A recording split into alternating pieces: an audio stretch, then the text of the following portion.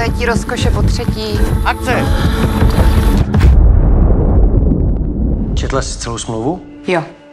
A cítíš se pod nějakým fyzickým nebo psychickým nátlakem? Ne. Takže děláš tohle rozhodnutí zcela dobrovolně. Ano. Všechno? Proč nejíš? Budeš mít hlad. Nebudu. Už zase větší ty prsa. Já vím. Jsi přetažená. Po olympiádě si odpočineš. Prostě nervy. To bude dobrý.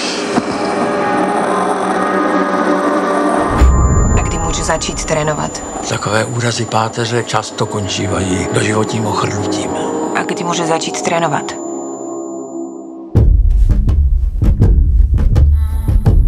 Co bude dělat? Najde si práci?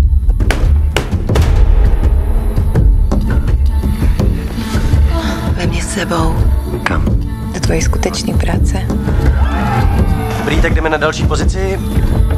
Tvoje první scéna? Jo. Už víš, jak se bude říkat.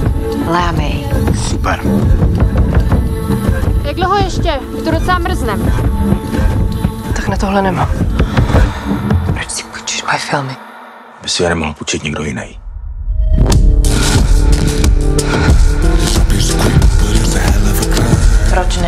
Já jenom nemám chuť. Se mi nemyslá, že vy to musíte mít vždycky chuť. Ničíš všechno kolem sebe.